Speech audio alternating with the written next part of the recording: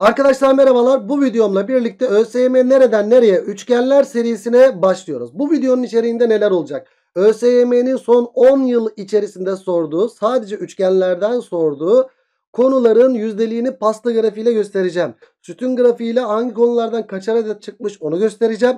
Ee, bir tabloyla da hangi yıllarda hangi konulardan hangi sorular çıkmış onu göstereceğim. Oradaki o tablodaki sorular zaten ÖSYM'deki üçgenler konusunda e, nereden nereye gittiğini çok iyi bir şekilde gösteriyor.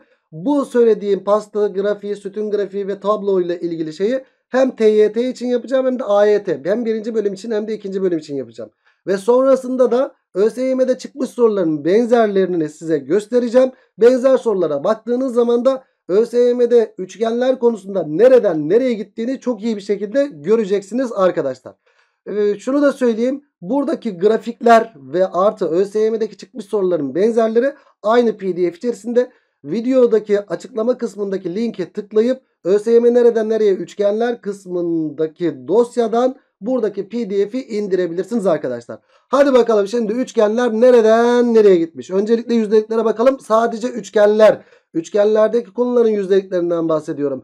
Birinci bölümde son 10 yılda üçgenlerin sorduğu sorular arkadaşlar. Önceki adı YGS'ydi şimdiki adı TYT oldu biliyorsunuz. Ee, üçgende açı, dik üçgen ve benzerlik önemli bir yere sahip arkadaşlar. Grafikte de görüyorsunuz. Yüzdeliklere bakacak olursak üçgende açı %26.3, dik üçgen %21.1, ikizkenar eşkenar %15.8, benzerlik %21.1, alan %5.3, açı kenar bağıntıları da %10.5 olarak gelmiş. Şimdi gelelim bunların sayısına e, son 10 yıl içerisinde bu konulardan kaç adet soru çıkmış? Üçgende açıdan 5, dik üçgenden 4, ikizkenar eşkenardan 3, açı ortay kenar ortaydan hiç soru gelmemiş. Benzerlikten 4, üçgende alandan 1, açı kenar bağıntılarından 2 ve üçgende merkezlerden de hiç soru gelmemiş. Şimdi burada bir duralım. Bir sohbet edelim sizinle.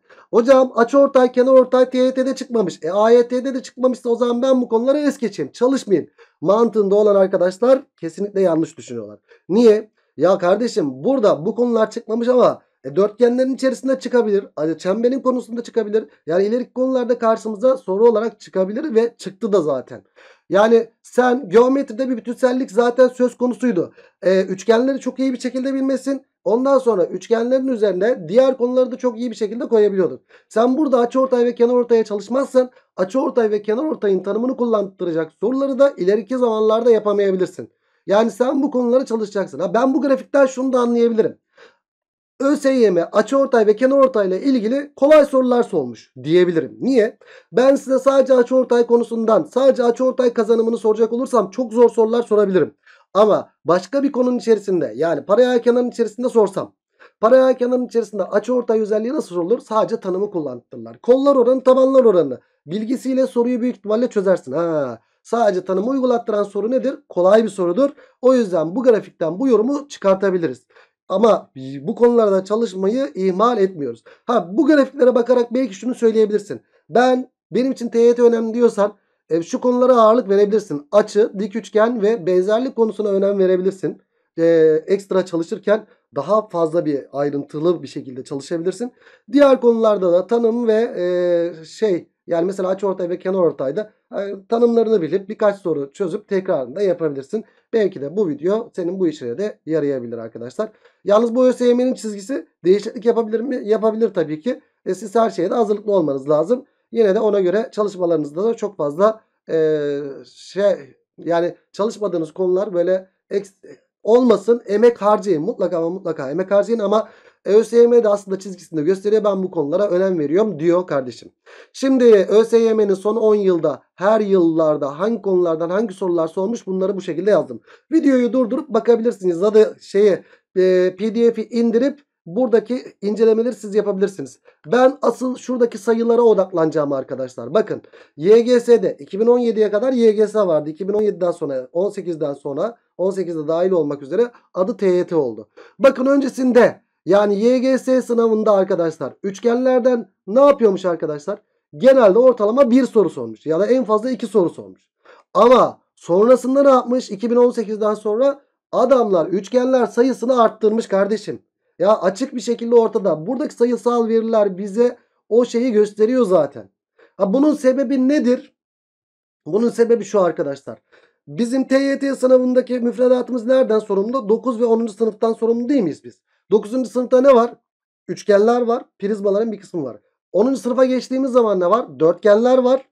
E, dörtgenler, çokgen ve dörtgen konusu var. Bir de yine prizmaları, prizmalara devam ediyoruz ve piramit konusu da var değil mi arkadaşlar? Yani şunu söyleyebiliriz.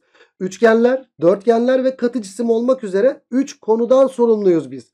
3 geniş konudan sorumluyuz. Katı cisimlerin yarısı var bu arada.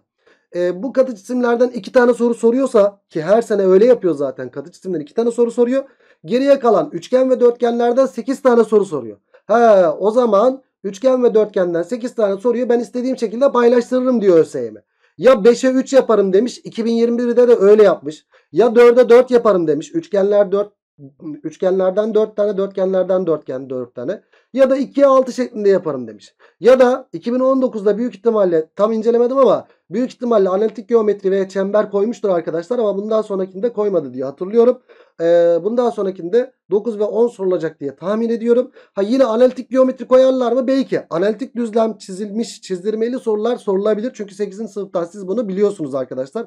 Ee, belki sorabilir ama Bence sorar mı? Sormaz. Yani üçgen ve dörtgenlerden 8 tane soru soracak gibi geliyor arkadaşlar. Bunun sayısı dediğim gibi ya 5'e 3 ya 4'e 4 ya da 3'e 5 şeklinde olabilir. Ya da 2'ye 6 da olabilir. Üçgenlerden 2 dörtgenlerden 6 soru sorabilir. Dörtgenden 6 soru sorması ne anlama geliyor? Ben üçgen kazanımını dörtgenlerde ölçeceğim anlamına geliyor. Ki zaten biz bunu dörtgenlerde de söyleyeceğiz. Dörtgenlerin çoğunluğu nereden çözülüyordu arkadaşlar? Çoğunluğu üçgenlerden çözülüyordu. Üçgen bilgisinden çözülüyordu. Dörtgenin de tanımını bilip üçgen bilgisiyle rahat bir şekilde çözebiliyorduk. Yani üçgenler şöyle bir genel itibariyle konuşacak olursam birinci bölümde TYT'de %60'lık 70'lik hatta %80'lik yere denk gelebiliyor arkadaşlar. Dörtgenlerin içerisinde de üçgen olduğu için. Üçgenler TYT için çok önemli. Konu anlatımında üçgenler bittikten sonra ne demiştim ben size? Evet arkadaşlar artık TYT'de 6 net 7 net yapabilecek seviyedesiniz dedim. Ve çoğunluğunuz da öyle yapar konuma geldiniz zaten arkadaşlar. Evet TYT harbiden üçgenlerden oluşuyor diyebiliriz. Çokgen dörtgen çözerken de üçgenle çözerseniz hiçbir sıkıntı yaşamazsınız dostlar. Evet üçgenleri bu şekilde bitirdik gençler. Şimdi gelelim ikinci kısma. İkinci kısım önceden adı LYS'ydi şimdi adı AYT oldu arkadaşlar. Evet son 10 yılda e, şu grafiğe bakacak olursak üçgende açı ve üçgende alan iyi bir yere sahip. E, üçgende açıdan %28.6 dik üçgenden 10.7 ikizkenar eşkenardan 7.1 kenar ortaydan 7.1 benzerlikten 14.3 üçgende alandan 28. %28.6 üçgende merkezlerden de 3.6 gelmiş. Soru adetlerine bakacak olursak üçgende açı ve üçgende alandan 8 adet soru. Dik üçgenden 3, ikizkenar eşkenardan 3, e, ikizkenar eşkenardan 2, Açı ortaydan yine soru gelmemiş. Kenar ortaydan 2. Benzerlikten 4. Açı kenar bağıntılarından hiç soru gelmemiş. Üçgende merkezlerden de bir tane soru gelmiş. Evet şuraya bakacak olursak önceki adı LYS'ydi şimdiki adı AYT oldu. Aa hocam şu yorumu bu tabloda yapamıyoruz maalesef. Niye? Sebebini de söyleyeceğim. Hocam önceden üçgenler çok önemliyken şimdi önemsiz bir hale gelmiş AYT'de diyemiyoruz. Niye? Çünkü eski adı LYS'ydi pardon. Eski adı LYS'ydi. LYS'de 30 tane geometri vardı. Valla çok da güzeldi aslında. Keşke yine aynı sistem gelse. Şimdi AYT'de kaç soru var arkadaşlar? AYT'de 10 tane soru var. Eskiden LYS'de elips, hiperbol, parabol ve uzay geometrisi, vektörler falan da vardı arkadaşlar. Bunları da iptal edecek olursak o konularda müfredattan kaldırıldı. 24 ya da 25 soru diyelim. Üçgen, dörtgen müfredatta olan konu sayısı. E 24-25 sorudan 3 soru ya da 4 soru yüzde kaçlık kısma denk geliyor arkadaşlar? Yüzde 10 ile 20 arasındaki yere denk geliyor değil mi? He, burası da yüzde 10'luk kısma denk geliyor. Yüzde 10'luk ya da 20'lik. Burası da yüzde 10'luk ya da 20'lik. Yani ÖSYM ikinci bölümdeki soru sayısındaki çizgisini yine korumuş aslında. Üçgenlerle ilgili çizgisini korumuş ah, arkadaşlar. Hangi konulardan kaç tane çıktığını yine buradan bakarsınız. E, videoyu durdurup ya da pdf'den bakabilirsiniz arkadaşlar. Ee, ben şuraya bakacak olursam e, AYT'de arkadaşlar şu sayılara göre bir tane soru sormuş 2018'de. 2019'da hiç soru sormamış. 2020'de iki tane soru sormuş. 2021'de de hiç soru sormamış. Bunun sebebi ne? Birinci bölümde zaten adamlar analitik geometri ve çember soramadılar. Müfredatta yok diye. O yüzden ikinci bölümde analitik geometriye ve çembere ağırlık verdiler. Katı cisimlerden de bir soru sordular. E, şeyden de bir soru sordular. Çember analitiğinden de bir soru sordular. E, geçen sene yanlış hatırlamıyorsam 5 tane analitik sorusu vardı. E hocam hiç üçgen yok burada. Ama analitik soruların yarısından fazlası zaten üçgen bilgisiyle çözülüyor. Arkadaşlar bunu da unutmayın. Yine üçgenler burada LYS'de yani AYT'de önemli bir yere sahip. Üçgen bilgisindeki kazanımları yine size ölçüyorlar. Ne, ne vardı 2020'de mesela? Diklik merkezi konusu vardı. Üçgende merkezler konusu vardı. Ya da ne vardı arkadaşlar? Ee, üçgende merkezler vardı. Başka ne vardı? Üçgende benzerlik de vardı bir sorun içerisinde. İkizkenar üçgen yapma vardı analitik sorusunun içerisinde. Yani üçgenler çok önemli bir yere yine sahip. Konu olarak gözükmese de üçgenlerden bayağı bir soruyu yine yapabiliyoruz. Arkadaşlar haberiniz olsun. Şimdi AYT'de tamam üçgenlerde nasıl soru sorulacakmış gibi gözükse de yine çok soru çözebiliyoruz. Yine üçgenleri yeri burada önemli. Ve bu arada şunu söyleyeyim. Ee, üçgende alandan mesela burada 3 tane soru gelmiş. Burada da 3 tane soru gelmiş. Üçgende alanda 3 tane yazdım ya. Alanın içerisinde farklı konularda olabiliyor. Onun da incelemesini şurada yaptım arkadaşlar. Ee, ÖSYM'nin son 10 yılda alanda sorduğu konu dağılımı. Çünkü ben alan konusunu anlatırken ne dedim? Üçgenlerin tekrarı dememiş miydim size? Üçgenlerin tekrarıydı. Alan dağıtma ve üçgende benzerlik alan ilişkisi önemli bir yere sahipmiş burada. Alan dağıtma dediğimiz neydi arkadaşlar? Şu hatırlarsanız tabanlarla doğru orantılı olacak şekilde alanları dağıtabiliyorduk. 2K'da kalan 2A ise 3K'da kalan 3A diyebiliyorduk. Sonra alan kaydırma var. Alan kaydırma neydi? Paralel iki doğru arasında bir üçgen varsa tabanı sabit tutup tepe noktasını istediğimiz yere oynatabiliyorduk. Alan değişiyor muydu? Değişmiyordu. Bu alan kaydırma. Evet alan dağıtma %37.5 alan kaydırma %12.5 eşkenar üçgen alan ilişkisi e, %12.5 ağırlık merkez alan ilişkisi %12.5 be, benzerlik alan ilişkisi de %25. Yani şuraya bakacak olursak alan dağıtmadan 3 tane alan kaydırmadan bir tane eşkenar üçgenden bir tane ağırlık merkezi alan ilişkisinden bir tane benzerlik alan ilişkisinden de iki tane. Yani ben şuraya yukarıya bir daha gideyim isterseniz. Şurada benzerlik mesela LYS kısmında 1, 2, 3, 4 tane soru sorulmuş gibi duruyor ya. Şuradaki alan soruların içerisinde de iki tane de şey var burada. Benzerlik ilişkisi var aslında. Benzerlik sorusu kaç tane burada arkadaşlar? 4 tane. Ya da ağırlık merkezi mesela baktığımız zaman bir tane ağırlık merkezi sorusu var burada. Ağırlık merkezine geldik. Burada baktık kenar ortaydan e, kaç tane? 2 tane soru varmış gibi. Ama üçgende alanın içinde de var. 3 tane soru var arkadaşlar. O yüzden kenar ortay, menar ortay böyle azmış işte sorusu yokmuş gibi falan düşünmeyin diye daha öncesinde zaten size söylemiştik arkadaşlar. Evet şimdi de sorulara bakalım. ÖSYM nereden nereye gitmiş? Arkadaşlar biliyorsunuz bir eski nesil soru bir de yeni nesil soru kavramı var. Eski nesil soru önceden arkadaşlar e, eski nesil sorular şöyle. Şekli veriyor. Yanda bilgileri veriyor. Buna göre x kaçtır? Bütün soru kalıbı böyle. Yeni nesil soru ne? Hikaye koyuyor sadece. Yani şekli çiziyor ama hikaye veriyor, şekli çiziyor. Ardından işte buna göre x kaçtır falan diye soruyor ya da hikayeye devam ediyor arkadaşlar. Yeni nesil soru dediğimiz de bu. Ya da şekilsiz geometriye de yeni nesil soruda diyebiliriz. Hani kendiniz böyle e, aktarıyorsunuz. Eskiden beri var da hani yeni nesil diye algılayabiliriz arkadaşlar. E, 2018'den öncesine kadar baktığımız zaman yeni nesil diye tabi ettiğimiz sorulardan bir ya da en fazla iki tane soru gelmişken e, 2018'den sonra hep yeni nesil soru gelmiş. İnceleyelim isterseniz görelim. E, bu arada Katlama sorularını ben yeni nesil soru olarak almıyorum arkadaşlar. Çünkü katlama soruları son 10 yıldır 11 yıldır zaten hep karşımıza çıkan sorular haberiniz olsun. Bak şekil görüyorsunuz. Şekillere bakalım sadece görüyorsunuz yeni nesil soru yok. Hocam burada var. Bak burada simetri konusu var. Katlama sorusudur aslında bu. Simetri. Katlama dediğimiz bir doğruya göre simetri değil mi? Evet. Bakın 2013'te katlama sormamış. Onun yerine ne sormuş? Simetri sormuş. Ve bundan sonraki her yıla baktığımız zaman katlama ya da simetri ile alakalı bir soru var arkadaşlar. Katlamaya lütfen ama lütfen önem verin.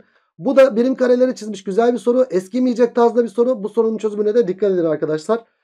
Bakın eski nesil sorular görüyorsunuz. Şekil burada. Yanında bilgiler var. Görüyorsunuz, görüyorsunuz, görüyorsunuz. Bak 2017 hala 2017. Hala 2017. Hep aynı tarz eski nesil dediğimiz. Ama bakın 2018'e geçişte sert bir geçiş olacak. Hop geçtiğin zaman görüyor musun? Açıklıyor açıklıyor açıklıyor. Bir şey e, kalıbı veriyor. Ondan sonra x kaç derecedir diye soruyor. Önceki gibi yanda bilgiler bilgiler yok arkadaşlar. Şey içerisinde açıklıyor. Ha bu da gözünüzü korkutmasın. Ya hocam zaten paragrafı biz çok okuyoruz.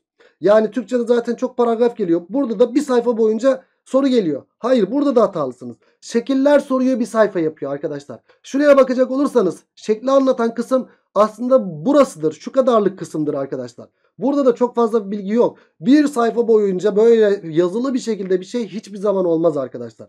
Ya çok rahat bir şekilde, açık ve net bir şekilde, kısa bir şekilde zaten ÖSYM sorularına bakın arkadaşlar. Kısa ve net bir şekilde anlatır.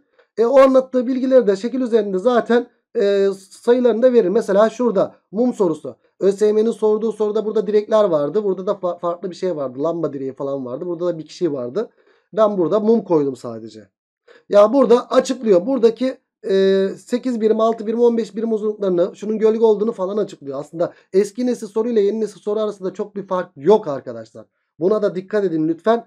E, bu sorularda korkutmasın gözünüzü. Zaten e, ben bunların sorularını çözerken size diyeceğim. Bak eski nesil soru böyleydi, yeni nesil soru böyle arasında hiçbir fark yok diye. Zaten çok bir fark yok diye de size söyleyeceğim. Ama görün hep şekil böyle açıklamalı açıklamalı hep böyle görüyorsunuz. Eski klasik tarzda sorular artık karşımıza gelmiyor. Özellikle üçgen sorusu. Aa hocam bak burada klasik tarzda bir soru gelmiş. Ama aslında burada da ne yapmış? Tam soru çözerken burada bir kağıdı yırtmış. Tahmin yeteneğinizi ölçen yani yeni nesil bir soru yine arkadaşlar bu soruda. Ya da sözel bir soru. Hep 2018'den sonra böyle soru gelmiş arkadaşlar.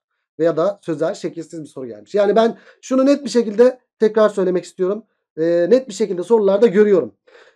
Üçgenler konusunda arkadaşlar adamlar 2018'den sonra hep yeni nesil soru sormuşlar. Daha öncesinde hep biz söylüyorduk. İşte 2018'den sonra hep şunu söylüyorduk. Ya e, soruların yarıya yakını yeni nesil olacak.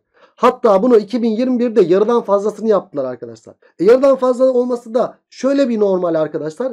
E, şöyle baktığınız zaman üçgen ve dörtgenden zaten e, 8 tane soru var. E, üçgen ve dörtgenden olabildiğince yeni nesil soru yazabiliyoruz. İşte vay tabloyu böyle duvara asıyoruz mesela dikdörtgen e, üçgen sorusunda ya da dikdörtgen kare sorularında.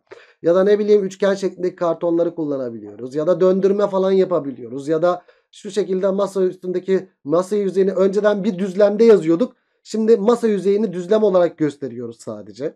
Gibi gibi. Yani biz bunları bu konuları yeni nesil bu konularda yazabiliyoruz. Ama diğer konularda çok fazla yeni nesil yazılmıyor gibi bir şey. Hani yazılsa bile çok da kolay oluyor. 2021 e, çember sorusuna da bakabilirsiniz arkadaşlar. Yani keşke şeyde sorulsa o konularda da yeni nesil sorulsa ki soruluyordu aslında yine çemberde memberde ama çoğunlukla da üçgenler ve dörtgenler konusundan soruluyor. E, o yüzden TYT'de yani birinci bölümde e, üçgenlerin hepsi bundan sonra da öyle gelecek gibi. Klasik tarzda bir soru değil yeni nesil soru tarzı gelecek gibi arkadaşlar. Eskiden şekil koyup yanında açıklama verirken Şimdi e, hikaye şeklinde size anlatıp yeni nesil bir soru olarak karşımıza sorular çıkacak arkadaşlar. E, böylelikle bu seriyi de bitirmiş olduk. Bundan sonraki videoda ne yapacağım arkadaşlar? Haftaya dörtgenleri anlatacağım aynen bu şekilde. Ama bu hafta içerisinde bir de bunlarla ilgili soruları konu konu anlatacağım. Üçgende açıların hepsini seçeceğim. Bakın burada yıl yıl vermişim ben size. E, nereye gittiğini görün diye. Ama soru çözümlerinde de konu konu. Üçgende açılar bir video dik üçgen, ikizkenar üçgen, eşkenar üçgen bir video. Ee, işte benzerlik bir video, alan bir video olacak şekilde en azından o konularda da ÖSYM benzerlik konusunda eskiden ne soruyordu şimdi ne soruyor şeklini rahat bir şekilde daha iyi bir şekilde göreceksiniz arkadaşlar. Bu hafta içerisinde de o soru çözüm videolarını çekeceğim bilginize. Evet çok güzel bir içerik oldu. Diğer arkadaşlar da e, aynı şekilde fizik, kimya, biyoloji için de diğer hocalarımızdan da izleyebilirsiniz arkadaşlar e, bizi aydınlattı. Sizleri de büyük ihtimalle aydınlatacaktır. En azından bu bilgiler e, ışığında biraz çalışmalarınızı şekillendirebilirsiniz arkadaşlar. O zaman ne diyoruz? Bir sonraki videoda görüşmek dileğiyle. Kendinize iyi bakın. Hoşçakalın.